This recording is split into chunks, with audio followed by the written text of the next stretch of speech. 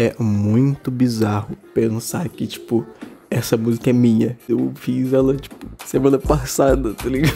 Cara, olha o tanto de vídeo que fizeram já com essa porra. Há seis dias atrás, eu mandei mensagem pra essa menina cosplayer aqui. O que aconteceu foi que eu tava caçando algum jeito de divulgar minha música nova. Daí eu mostrei minha música pra ela, tipo, ela gostou muito, tá ligado? E ela já gravou, fez o vídeo rapidinho. Nossa, ela é um amor de pessoa, velho. E, tipo, o vídeo dela ficou muito bom, tá ligado? Tipo, tanto de pessoa talentosa que tem, tipo, fazendo vídeo com a minha música. Tipo, velho, é muito gostosa a sensação de, tipo, Porra, nossa, muito. Ai, tipo, um monte de gente com esse cosplay muito foda. Tipo, olha isso, velho. Ver um monte de gente maneira assim usando a minha música é muito legal. Velho, logo depois da Yasi, quem postou foi a Pira. Tipo assim, a Pira, ela tem meio que 1 milhão e 700 seguidores. E eu não entendi nada, tá ligado? Foi bizarro só. Pra vocês terem noção, na primeira semana que eu lancei essa música, já tinha 1 milhão de views no TikTok. Tipo, é muita gente que gostou do bagulho. Atualmente eu nem sei, vamos ver. 460k mais 430k mais 50k 2 milhões e 500. Eu fechei a porra da calculadora enquanto eu tava falando, sou muito burro. Ontem mesmo eu postei esse vídeo aqui, tipo, ele já tá com 80 mil quase. Que bizarro, tá ligado? E, velho, realmente, tipo, eu tô muito feliz com esse bagulho que tá acontecendo. Tá gostoso de sair olhando esse bagulho, tipo, acompanhar tudo, tá ligado? Você provavelmente já viu algum desses vídeos, se você, tipo, tem consumido coisa dessa bolha de Hatsune Miku brasileira,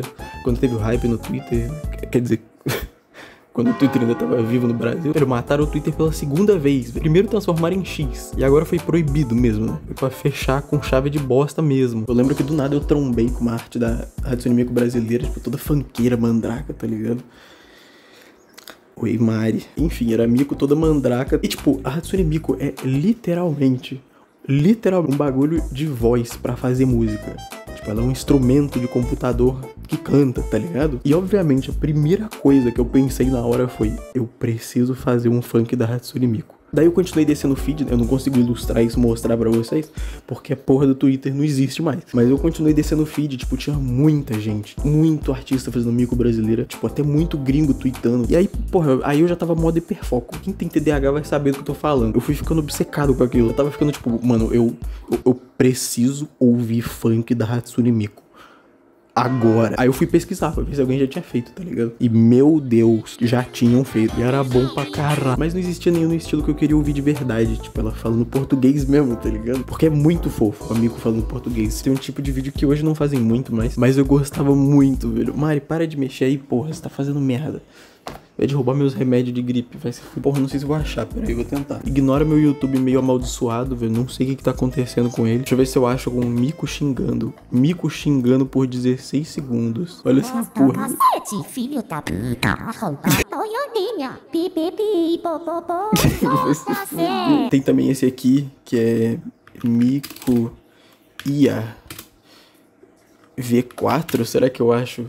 Aqui, nossa, esse vídeo, esse vídeo é bom demais. Cinco anos atrás, é um diálogo assim, os bonecos falando português, tá ligado?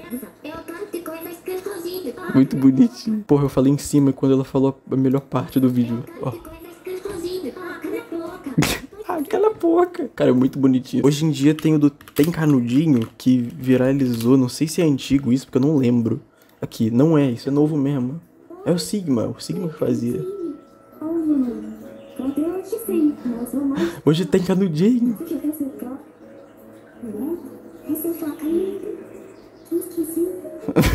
Velho, é isso, não vou mostrar tudo pra vocês. Mas o último que eu queria mostrar que também é famoso é o do Felipe Neto. Estão roubando meu fogão. Aqui, velho, se liga. Estão roubando meu fogão. Uma bonitinho. Acho muito bonitinho essa porra. E não só isso, velho. Eu gostava muito dessa música aqui quando eu era criança, velho. Tipo, eu ouvia essa porra em loop, infinito, tá ligado? Tá 2016 aqui, mas tipo, isso aqui é muito mais antigo que 2016. Mas tipo, você deve conhecer isso aqui, tá ligado? É muito famoso.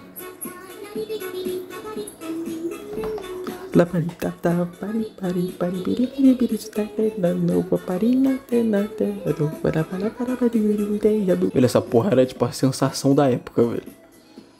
Eu tô ficando velho. Mas aí, tipo, eu fiz minha música rapidão, tá ligado? Tipo, o negócio simplesmente fluiu. Eu já tinha Hatsune Miku em minhas veias. E, velho, eu posso falar sem brincadeira nenhuma que a melhor parte da minha música é quando ela acaba, velho. Mas é porque realmente a parte que viralizou foi quando a música acaba, tá ligado? Que começa, tipo, o final dela, né? Que é aqui. Porque antes ela é mais melódica. Eu tinha essas duas ideias na minha cabeça, uma mais bonitinha, a outra mais agressiva. Só que eu queria juntar as duas. Só que eu tentei ficou uma merda. E aí, tipo, no final eu fiz duas separadas. E eu gostei muito de como ficou, tá ligado? Ficou muito bom. Pô, vai se fuder.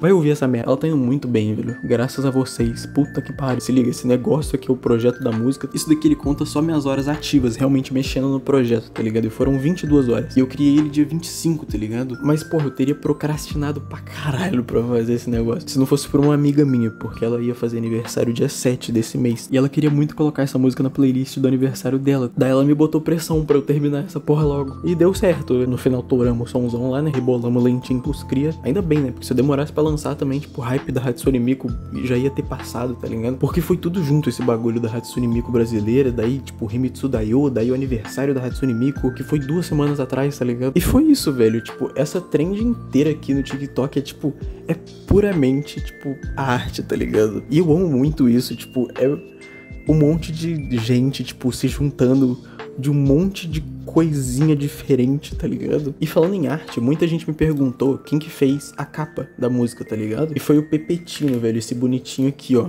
Se liga, olha que bonitinho. Esse aqui é o perfil dele no Blue Sky, inclusive o Blue Sky é o novo Twitter, né? Pra mim era muito importante que, tipo, essa capa fosse feita por um brasileiro mesmo. Foi uma commission, tá ligado? Eu falei pra ele o que eu queria, tem os conceitos, mostrei a música. Daí ele foi fazendo, tipo, me dando mais ideia, tá ligado? E ele é muito foda. Olha como é que ficou essa porra, velho. Que bagulho lindo. Tipo, olha isso, velho. Meu Deus, Ozin, isso é perigoso. Você é muito pesada e você vai cair daí. Ele foi muito paciente comigo, tá ligado? Muito tranquilo. Eu falo isso porque eu sou muito chato, tipo, eu sou muito perfeccionista, eu quero ficar ajustando o bagulho toda hora, tipo, eu penso num negócio novo, aí bota aquilo ali, por favorzinho, assim, faz assim, testa desse jeito, bom. A gente criou vários conceitos e tal, mas no final ele cagou na minha cara e simplesmente acertou tudo que eu queria, tá ligado? Foi muito gostoso trabalhar com ele nessa capa, velho. E se você é inscrito aqui há um tempo já, você deve ter percebido que eu tô com uma pulseira de verdade e não com uma xuxinha de cabelo pela primeira vez na minha vida. Mentira, tô com uma no outro braço.